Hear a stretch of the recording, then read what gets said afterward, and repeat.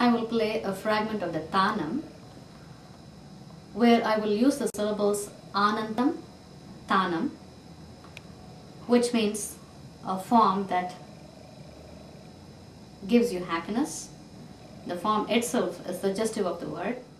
Tanam, tanam, tanam,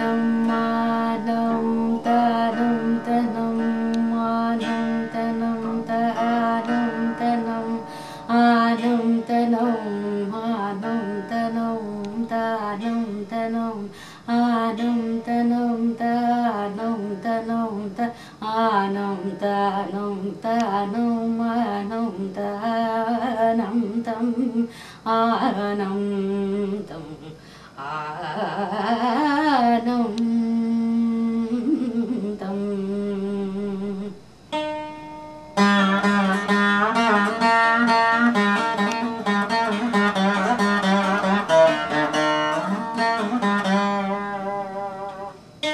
Bye.